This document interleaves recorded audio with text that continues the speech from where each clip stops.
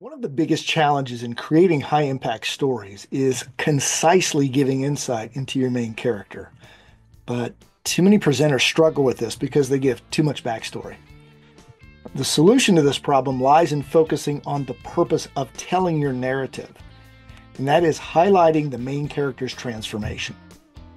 The core of a compelling story lies in showing this change. That's what keeps listeners hooked the journey from struggle to success, fear to courage, or self doubt to confidence. Here's what many presenters don't know this transformation doesn't have to be demonstrated only through the eyes of your main character. You can also show this person's change through the eyes and words of the people around that individual. most stories focus on showing the change through the main character's thoughts or dialogue. Now, this individual shares how they've grown or what they've learned. But if you want to give your story more flavor, take it a step further. Show how the side characters react differently at the end of the narrative compared to the beginning. Here's an example. One of our clients, Scott, tells the story about his high school experience. During his freshman year, a teacher humiliated him in front of a lot of kids in the school. Almost all the students in that auditorium laughed at him. And that moment crushed his confidence and left a lasting impression. Now, jump ahead to Scott's senior year. During the previous three years, he made a discovery. He could dance. And not just shuffle around, he could move. Dancing helped him rediscover and gain more confidence. It gave him a way to stand out. And by the time the school's talent show rolled around at the end of the school year, he was invited to perform a dance solo.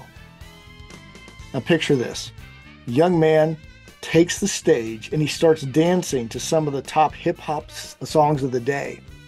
The energy is electric.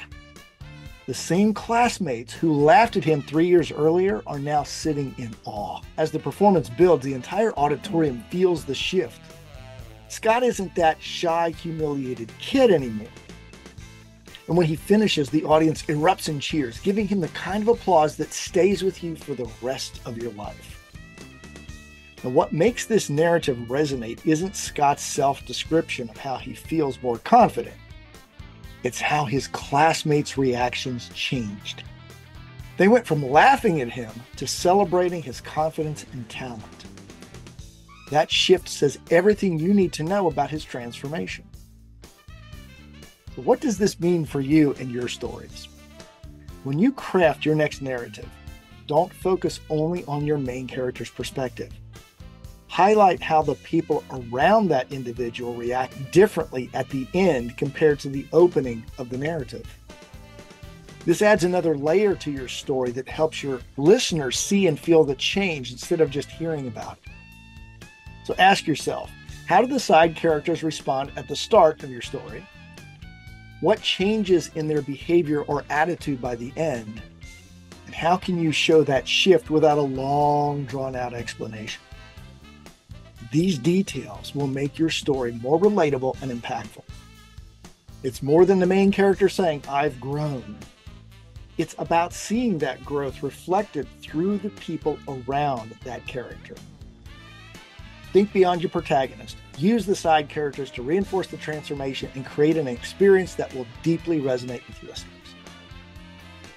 I'm curious, what's a story you've told where the reactions of others played a key role? Share your thoughts. I'd love to hear how this idea about side characters changes your approach to storytelling.